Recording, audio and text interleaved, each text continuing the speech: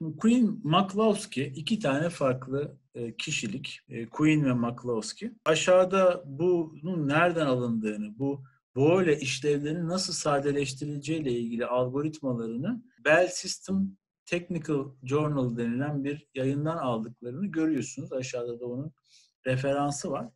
Şimdi bu ne için bulunmuş bir algoritma? Karno haritasıyla her zaman her şeyi yapamıyorsunuz ya. Bilgisayarlara Karno haritası çözdürecekseniz o zaman bir algoritmaya ihtiyacınız var. Karno'yu çözmek daha zor bilgisayarlarla. Yani böyle daha metodolojik bir şey yapabilir miyiz diye düşünmüşler ve böyle bir yöntem bulmuşlar. Bir algoritma bulmuşlar. E, nasıl çalışıyor? Bir bilgisayar kullanacaksa bu daha verimli. İnsanın yapmasındansa bilgisayarların yapması için düşünülmüş bir algoritma. Şimdi iki tane aşaması var. Bir böyle işlevinin tüm birinci üyelerini bulmak birinci aşama. Sonra da bunları birinci esas birinci aşamalarını bulmak. Şimdi bu üyelerini bulmak. Bunu yaparken daha açık olacak. Şimdi böyle terimlere bakarsanız sanki hani bir şey anlamayabilirsiniz. Buradan yaparken daha açık olacak. Şimdi Queen-McCloskey algoritması NP-Complete'dir. Bilgisayarcılar bunu algoritma dersinde ve kombinatorik 133 dersinde görecekler. E, NP complete demek biraz çözmesi zor demek. Yani uzun zaman alabilir demek. Polinom zamanda çözmeniz bu sorunu pek mümkün değil demek. E, zaten aşağıda yazıyor. Hesaplama süresi girdi boyutuna göre üstsel olarak artar demek. Hani biraz büyük bir f fonksiyonu çözmeye kalktığınızda ciddi zaman alan bir algoritma bu. NP Complete'i gördüğünüzde bunu da hatırlarsınız burada bu algoritmanın da buna bir örnek olduğunu. Şimdi peki nasıl yapacağız? Elimizde bir tane fonksiyon var ve bu fonksiyonda mini terimler var diyelim ki. Şimdi burada mini terimlerin, yani şu f fonksiyonu şöyle yazılıyor ya, yani bu aslında şu gördüğünüz şey f eşittir 0, 1, 3, 7, 8, 9, 11, 15. Yani bu şekilde yazıyormuşsunuz gibi aslında. Bu f fonksiyonunu bu şekilde yazıyormuşsunuz gibi.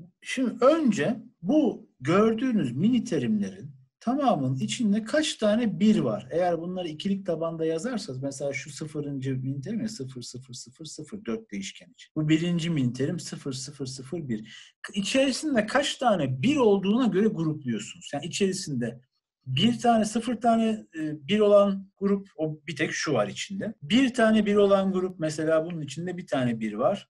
Başka 8'in içinde bir tane bir var. İki tane bir olan kim var? Üçün içinde 3 var. 7'de 3 tane. 9'da da 2 tane. Şimdi şu 3 ile 9 bir grup oluyorlar. Gibi böyle grupluyorsunuz. 15'te 4 tane bir var. Zaten gruplar 0, 1, 2, 3, 4, 5 tane grup olacak içerisinde. Ve burada birbiriyle eşleşen terimleri birleştirme mantığına dayalıyor bu Queen-McCloskey algoritması. Şimdi nasıl yapacağız? Ekranda bir tablo görüyorsunuz. Bu az önceki bahsettiğim mini terimlerin içerdiği bir sayısına göre gruplanmış halleri. Şimdi şurada mini terim 0, içinde hiç 0 yok. O tek başına duruyor. Şurası e, mini terim 1 ve 8. Bunlar içlerinde bir tane bir var. Bunlar yan yana duruyorlar. Böyle bölünmüşler. Ayrıca bölünmüş şekilde E, 3 ile 9 içinde 2 tane bir var. 7 ile 11 içinde 3 tane bir var. 15'te içinde 4 tane bir var. Şimdi bunları her defasında bunları bu şekilde yazdıktan sonra her defasında bu gruptaki yani sıfırıncı gruptaki elemanı bir sonraki grupla yani sıfırı birle, biri iki, iki ile, ikiyi üçle gruplayacak şekilde her bir elemanla karşılaştırıyorsunuz ve yalnızca eğer tek bir basamakta burada olduğu gibi yalnızca tek bir basamakta farklıysa bunları gruplandırıp bir sonraki aşamaya 0,1 yazıp A, B, C, D diyeyim mesela şuraya. Altına da üçünü de, üçü de sıfır ya ikisi de sıfır. Yani şurası aynı. Şu gördüğünüz kısım aynı. Şu sıfırla biri de çizgi olarak belirtecek şekilde grupluyorsunuz. Benzer şekilde öbürünü de aşağıya yazayım. Şurası bakıyorsunuz şimdi şununla şu aynı. Şöyle önce bir sileyim bunu. Bununla bu aynı. Şununla şu da aynı. Bununla bu da aynı. Ama şu ikisi farklı.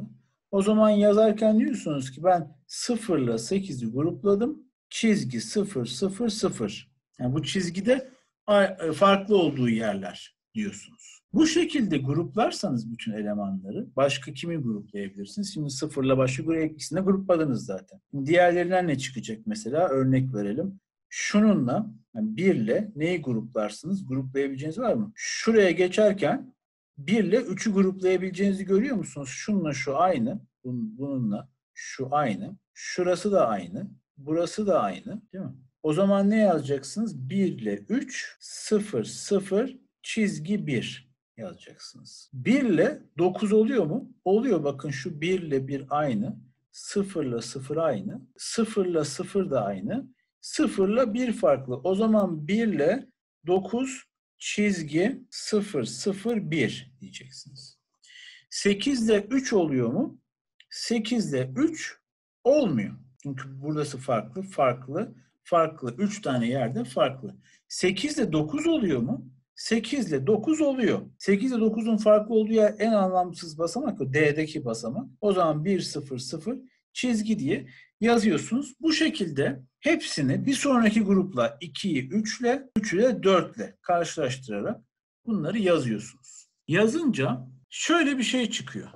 Eşleşmeyen mini terim yok şu anda hani. Hepsi hepsi birbiriyle eşleşiyor. Yani şurası her bir grup bir diğeriyle eşleşiyor. Eşleşmeyen bir mini terim de olmadı burada. Eşleşmeyenleri not almanız lazım bu arada. Çünkü onlar dışarıda kaldığı anda onları yazacaksınız. Eşleşmedi hiçbir şeyle. Bu eşleşmemek demek bunlar e, daha büyük bir grup oluşturamıyor demek. Ne kadar eşleştirirseniz bir sonraki aşamaya geçirirseniz o kadar sade bir eleman buluyorsunuz bu yöntem. Evet benim yazdığımı görüyorsunuz. Şimdi burada bunu yaptıktan sonra bu sefer gene bu grupla ilk sıfırıncı grupla birinci grubu yeniden eşleştirmeye bakıyoruz. Şimdi şuraya bakalım. Şimdi şu çizgilerin aynı yerde olması lazım. Bu, bu terimle 0, 1 ile aşağıda 8, 9'un aynı olduğunu, çizgi 0, 0 kısmında aynı olduğunu sadece şurada farklı olduğunu görüyorsunuz. O zaman 0, 1, 8, 9 yazılıyor. Başka şu 0, 8 ile şununla 1, 9'un aynı olduğunu görüyorsunuz. Çünkü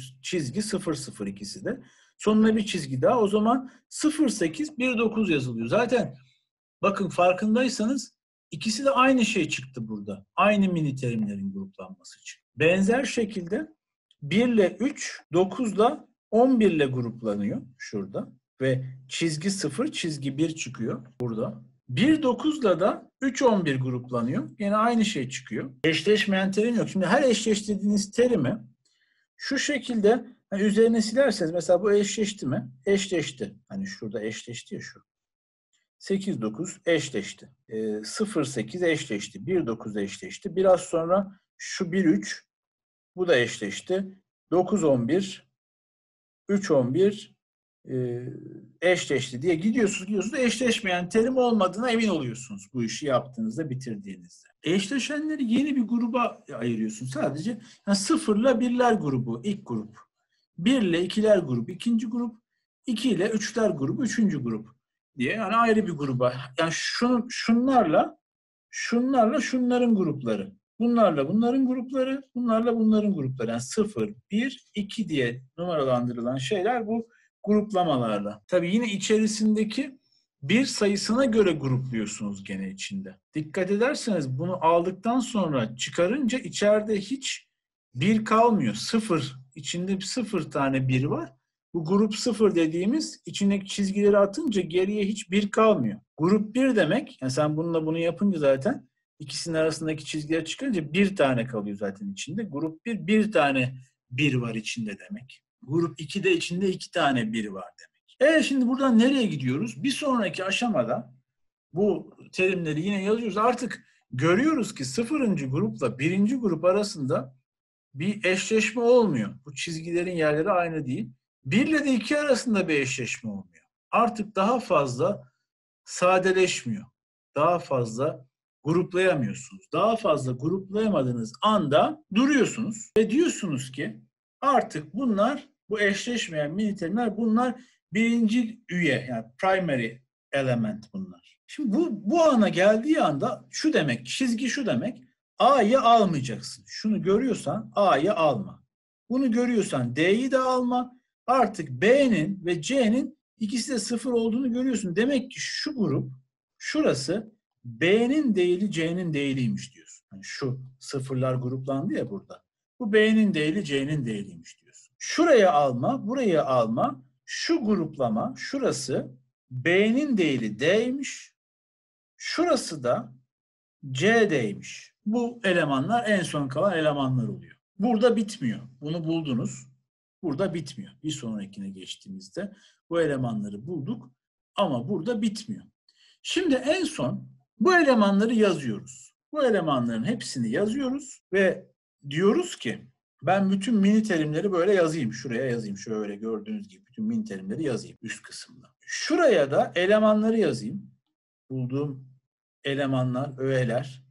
Yani bu en son çıkan terim, terimleri içeren grupları yazayım. Sonra da hangisinin hangi mini terimleri kapsadığını yazayım. Mesela B'nin değeri, C'nin değeri burada da görüyorsunuz ki 0'ı, 1'i, 8'i ve 9'u kapsıyor. Aşağıdaki B'nin değeri D, CD'yi de aynı şekilde bütün kapsadıklarını böyle çarpıyla göstereyim. İster, istediğiniz şekilde gösterebilirsiniz.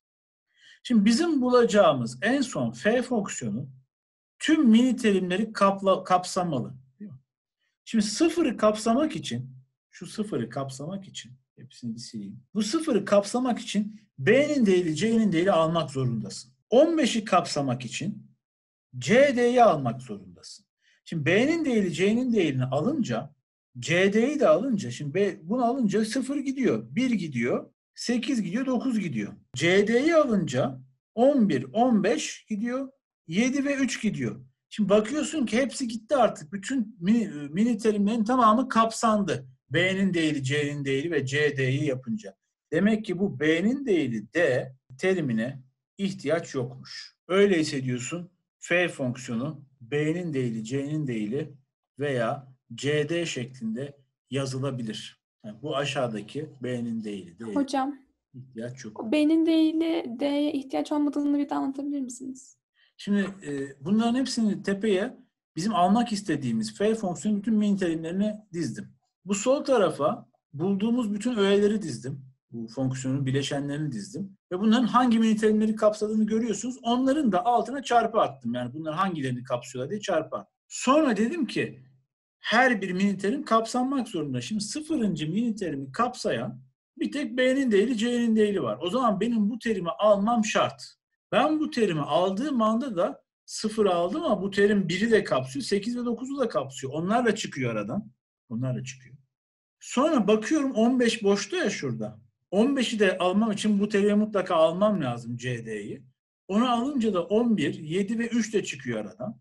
E bu iki tanesi tüm terimleri kapsamış oluyor. B'nin değeri, C'nin değeri ve CD bütün terimleri kapsamış oluyor. Bu aradaki B'nin değeri D'ye ihtiyaç olmuyor. Demek ki gerek yokmuş diyorsun ve onu almıyorsun en sondaki F fonksiyonuna en sade fonksiyonu bulmak için. Tamam, teşekkür ederim. Evet. Şimdi siz en son bulduğunuz şey e, bu en sona kalanları e, her şeyi kapsamayabilir. Arada da eşleşmeyen terimler olabilir dedik ya.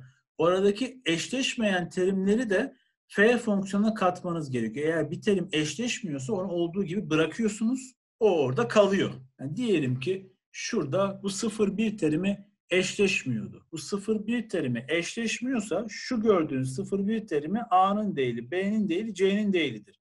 Bu olduğu gibi bu aşamada kalır. Diğer gruplananlar diğer aşamaya geçerler. Devam ederler onlar daha sadeleşmeye ama sadeleşmeye devam etmeyenleri de F fonksiyonunda en son göstermeniz gerekir. Neso Akademi'ye de teşekkür ederiz bize verdikleri yardım için bu münasebetle.